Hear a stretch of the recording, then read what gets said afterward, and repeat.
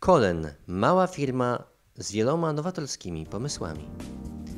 Przedstawiamy Państwu mobilny tester do kontroli nastaw wyzwalaczy nadprądowych, wyłączników szybkich prądu stałego. Wyłącznik szybki jest podstawowym zabezpieczeniem przed przeciążeniem lub zwarciem w obwodzie prądu stałego. Dzięki niewielkiej masie i gabarytom tester TWS łatwo przewieźć i przeprowadzić pomiary kontrolne w miejscu zainstalowania wyłącznika. Wydajność wymuszalnika prądowego testera osiąga wartości do 6000 A. Tester TWS pozwala na pomiary nastaw prądowych wyłączników, badanie zdolności załączania pod obciążeniem, dynamiki wyłączania oraz pomiarów rezystancji styków wyłącznika.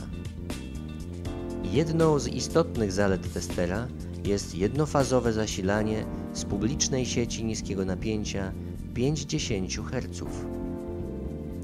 Tester TWS jest przeznaczony dla zespołów prowadzących pomiary eksploatacyjne, prace serwisowe oraz dla producentów wyłączników szybkich.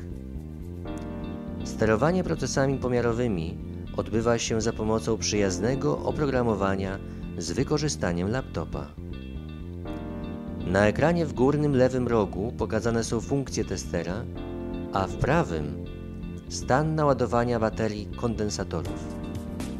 Na dole ekranu pokazywane są wyniki pomiarów i komentarze oraz przebieg prądu podczas testu.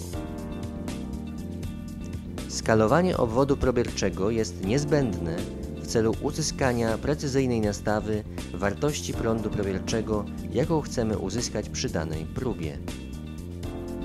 Podczas pomiaru prądu nastawy wyzwalacza tester umożliwia nastawę stromości prądu, w tym stromości 200 A na sekundę zalecanej przez normę i wartości maksymalnej prądu probierczego. Możliwe jest też ustawienie czasu trwania impulsu prądowego do 2 sekund. Tester pokazuje wartość nastawy prądu wyłącznika jako wartość prądu w momencie otwierania się styków wyłącznika. Pomiar czasu wyłączania wykonywany tym testerem nie jest znormalizowany, ale umożliwia ocenę stanu technicznego danego typu wyłącznika na bazie uzyskanych doświadczeń. Pomiar zdolności załączania wyłącznika pod obciążeniem wykonuje się przy nastawionej wartości prądu probierczego określonej przez producenta wyłączników. Wynik testu dla wyłącznika jest pozytywny, gdy przy założonej wartości prądu styk główny wyłącznika zostanie trwale zamknięty. Na wykresie pokazany jest rezultat nieudanej próby. Po obniżeniu zadawanej wartości prądu w następnej próbie styk zostaje zamknięty.